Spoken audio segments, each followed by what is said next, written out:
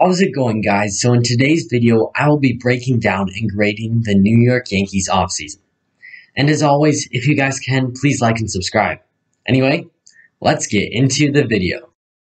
So, the Yankees actually had a pretty solid offseason and they filled many different needs. Starting off on the pitching side, the Yankees helped to solidify a somewhat shaky rotation by trading for starting pitcher Jameson Taillon and signing starter Corey Kluber.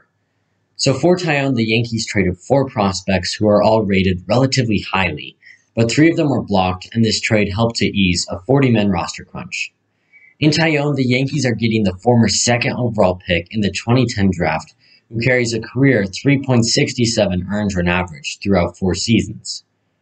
Now, injuries aside, Taillon is a very solid starter and would fit in on almost any team's rotation as a number two or three guy. The concern with Taillon is his injuries. It seems as if every year he gets injuries, and he has had to have Tommy John surgery twice now. Now, this is not to bash Taillon, but there are concerns about his injury past. And in Corey Kluber, the Yankees signed a former two-time Cy Young winner for only $11 million. While Kluber is 34 years old, he is still pretty young and probably has a few good seasons left in the tank. Unfortunately, Kluber does come with his concerns. He has not been healthy since 2018, when he had a 2.89 ERA, and he has only pitched in eight games since then. Now, while Kluber's injuries are concerning, he held a workout for teams in February, and many evaluators said he looked very good.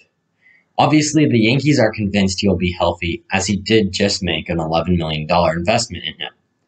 Now, these two moves the Yankees were, in my opinion, smart moves, as they needed rotation arms, and they got experienced veterans. And if Kluber and Taillon can perform as they have in their peak days, then the Yankees will be scary good. On the bullpen side, the Yankees only made two additions, but this is a stud team, so there are not many needs. In early February, they signed reliever Darren O'Day. In O'Day, the Yankees are getting a 38 year old veteran who, throughout his whole career, has produced solid relief. While he has been solid throughout his career, as evidenced by his career 2.51 earned run average, Last season was especially solid for O'Day with the Braves, who had a 1.10 earned run average, but in only 16 innings. And later in February, they signed reliever Justin Wilson. Like O'Day, Wilson is a solid veteran reliever who can help stabilize the Yankees' bullpen. Even better for the Yankees is that they stole Wilson in a bidding war with their rival, the New York Mets. And these two players will only cost the Yankees $3.6 million. On the hitting side, the Yankees did not make many moves, but then again, they did not need to. Throughout the entire offseason, it was well known that the Yankees' one goal was to re sign star second baseman DJ LeMahieu. And they did just that in January when they signed him to a six year, $19 million contract. Now, this signing might be an absolute steal, as over the past two seasons with the Yankees, he's finished in the top four for MVP voting two times won two Silver Sluggers, and has had a 336 batting average with 36 home runs. That was their marquee move of the offseason, but they also re signed veteran Brett Gardner. Gardner has played his whole 13 year career with the Yankees and has compiled 43 wins above replacement. While he has lost a step or two throughout his career, he had a 108 OPS plus, meaning he was still above average last season. Also, during February, they signed sluggers Derek Dietrich and Jay Bruce to minor league deals. Both at times have shown great pop, but they have also struggled with hitting for average, as both have failed to hit above the Mendoza line the past season. If the Yankees can help them fix their swing, then the Yankees will be extremely scary good. The Yankees had a pretty good offseason, but they did lose a few players. In their rotation, they lost Masahiro Tanaka and James Paxton.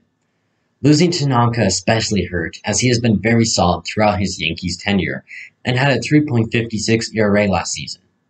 Luckily, the Yankees were able to replace them with Kluber and Taillon. They also lost pitchers Adam Ottavino and J.A. Happ, but both were expendable, and the Yankees have the depth to replace them. Overall, I think this was a very good offseason by the Yankees, as they did just what they were supposed to do by re signing LeMahieu and getting the starters in Kluber and Taillon.